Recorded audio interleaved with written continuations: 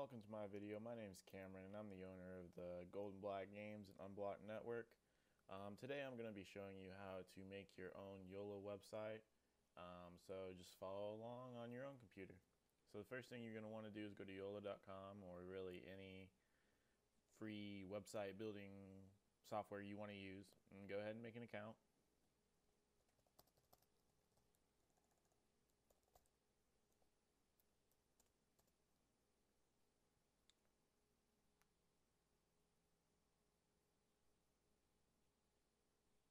Once you make an account, it'll uh, show you some templates that you can use. I personally don't like using these templates um, because they're just very standard, and you can also get um, better templates in the website building software by themselves. Um, I'm gonna go ahead and choose this one right here. I'm gonna give it a fancy name. Fancy. See what I did there?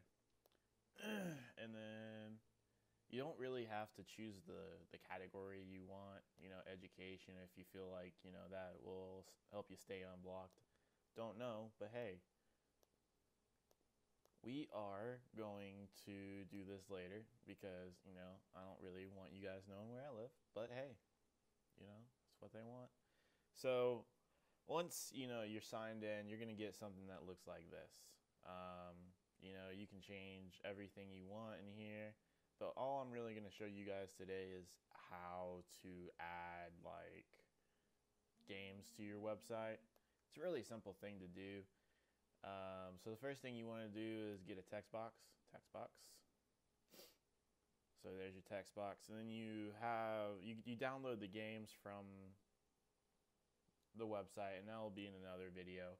But um, first thing you want to do is you know type down what game it is. Then you're going to want to select and highlight it and then hit this add link button. Now it'll ask you, you know, where you want your link to come from. File stored on this site and you also want to open it in a new window. The reason why you want to do that is because when you, the user clicks on the link, it's going to open it in a new window and keep your website page there. So more or less, they can just close out of that first one and then still have, you know, all the games that you have on your website. So next thing you want to do is hit that browse button. And I don't have any files uploaded right now, so I'm going to go ahead and upload some. I have a bunch actually. I'm going to do drag racer because that's what I typed down.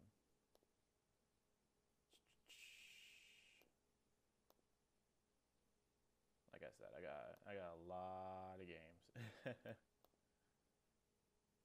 All right, there it is. So you upload it. It'll say uploading files. And then once it's done, you'll just select it and hit OK. Select, select, and OK. And then boom, it's there. So you get save and publish, and now your site's live. Isn't that crazy?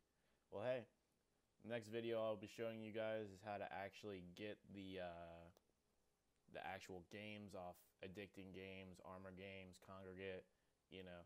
I'll show you more as we go on. You guys have a great day. Bye.